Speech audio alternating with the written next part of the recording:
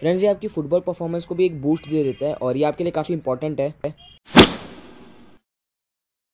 Hello friends welcome to my new vlog friends आज के blog में मैं आपसे एयर बॉल के बारे में बात करूँगा कि फ्रेंड्स एयर बॉल खेलने के कितने सारे फ़ायदे होते हैं और कैसे ये आपकी फुटबॉल परफॉर्मेंस को इम्प्रूव करता है। सो so फ्रेंड्स फ़िलहाल हो चुका है अभी खाने का टाइम तो पहले खाना खा लेते हैं।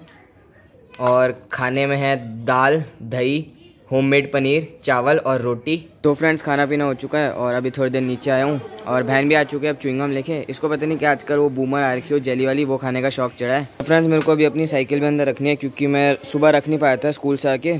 क्योंकि हमारे यहाँ की रोड बन रही थी ना, मैंने आपको, अगर आपने मेरे पहले वाले ब्लॉग देखे होंगे तो उसमें मैंने बताया था कि रोड टूट के नहीं बनने वाली है। तो आज बन रही थी तो उस वजह से सीमेंट गीला था तो इन्होंने रखने नहीं दिया।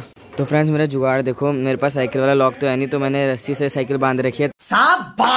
ताकि कोई लेना जा सके। क्यों कोई रस्सी खोल के नहीं जा सकता?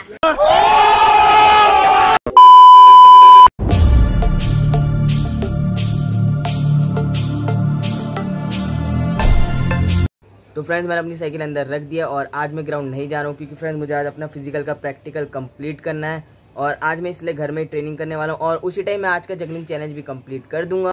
तो रेडी होते हैं अपने आज की होम ट्रेनिंग सेशन के लिए भैया ये देखो मम्मी ने आज मेरे घर में बाल काटे मैं कैसी लग रही हूँ स्वर्ग से उतरी हुई कोकिल कंठी अप्सरा लग रही हो।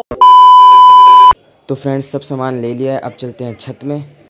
तो फ्रेंड्स आ चुका हूँ मैं छत में और हवा चल रही है बहुत ज़्यादा मस्त। तो इसी के साथ शुरू करते हैं अपना आज का ट्रेनिंग सेशन तो फ्रेंड्स, मेरा ट्रेनिंग सेशन कुछ ऐसा रहेगा वार्म अप के लिए करूँगा मैं जगलिंग और उसी में मैं अपना आज का थाउज़ेंड जगलिंग चैलेंज भी कंप्लीट कर दूँगा। आज हमारा डे ट्वेंटी थ्री और जगलिंग के बाद करूँगा अपना एक छोटा सा होम ट्रेनिंग सेशन जो आप आगे वीडियो में देख ही लोगे।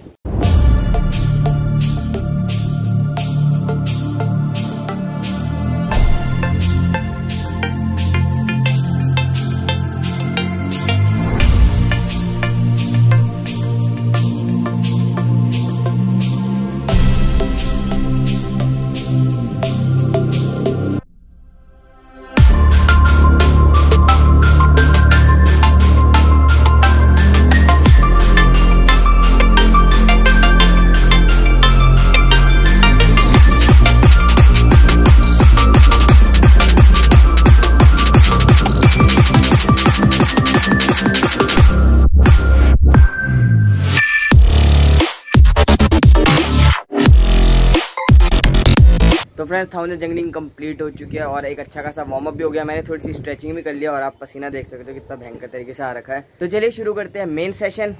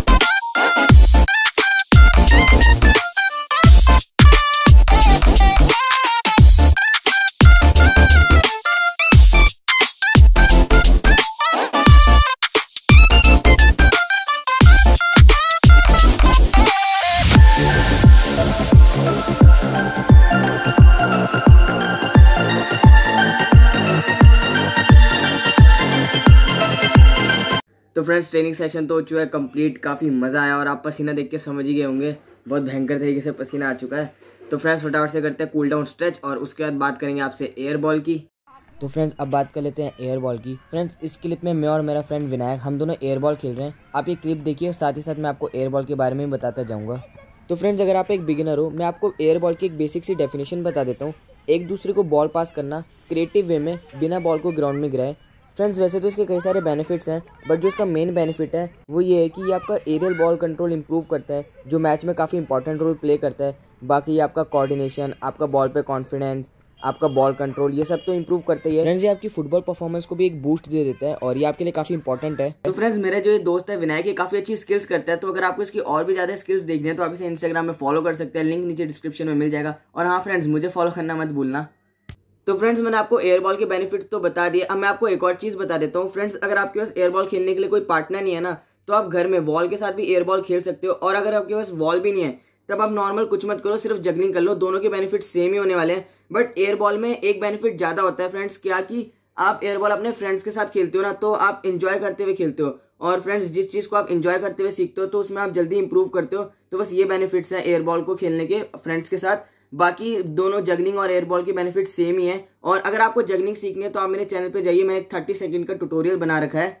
तो फ्रेंड्स मैंने आपको अभी जितनी भी बातें बताई है, वो अपने एक्सपीरियंस से बताइए बाकी अगर आपको और भी बेनिफिट्स पता है इसके तो आप कमेंट सेक्शन में लिख दीजिए ताकि औरों की भी हेल्प हो जाए। उम्मीद करता हूँ आप सभी को ब्लॉग अच्छा लगा होगा। आज के ब्लॉग में इतना ही, मिलते हैं नेक्स्ट ब्लॉग में। जय हिंद।